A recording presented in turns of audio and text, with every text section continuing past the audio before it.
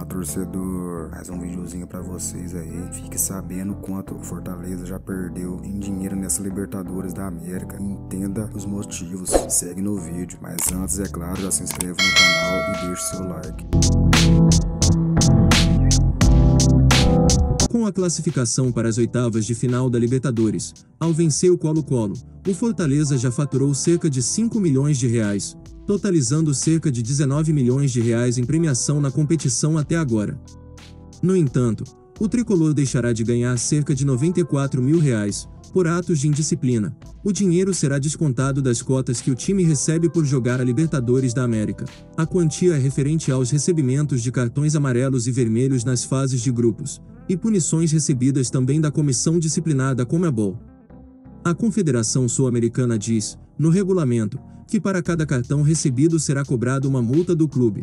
Na fase de grupos o amarelo custa 400 dólares, e o vermelho 1.500 dólares. O Fortaleza em seis partidas recebeu 21 cartões, sendo 20 amarelos e um vermelho.